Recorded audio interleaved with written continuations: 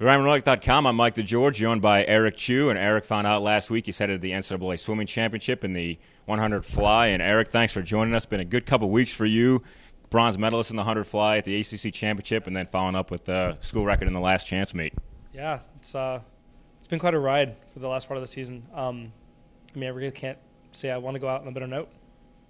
Yeah, as a senior, I mean, eh, eh, you've kind of watched the development of this program over the last couple years. It's got to be pretty cool for you to see how it's gone for you and how the program has advanced in, in, the, in your time here on the flats. Yeah, it's um, it's definitely been development. You know, um, Chris DeSantis, you know, the assistant coach, has been pulling in a lot of um, international talent. Um, our program has developed so much just because of that alone. Um, the training has been phenomenal because of it. Yeah, you're not just going to swim the 100 fly in the at Indianapolis next week. You're also going to swim on four relays. So that's got to be pretty special for you to be there with some teammates and then swimming on those relays as well. Yeah, I really couldn't imagine doing that alone. Uh, that'd be a little bit too nerve wracking. But to be there with some friends, uh, you know, have some fun, get on some relays, really is a phenomenal experience. So you swam in the Olympic trials last summer. How do you think that prepares you for swimming now at Indianapolis next week at the NCAA championship? Um, you know, swimming at a meet at that scale at Olympic trials is um, is definitely good preparation for something as big as the NCAA championships.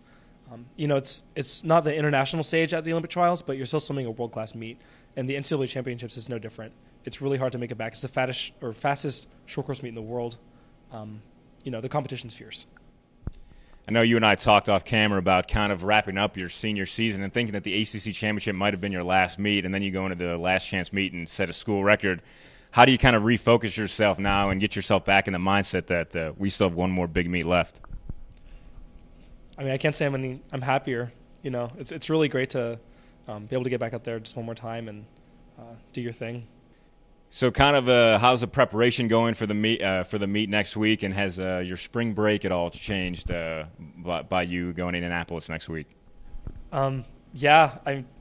It's changed a lot. You know, I'm here on campus um, not doing the whole you know Southern Florida thing like everyone else on campus is. Um, but I can't think of a better way to to miss for spring break. Industrial design major. Do you have plans? Uh, what are your plans after you graduate from Georgia Tech?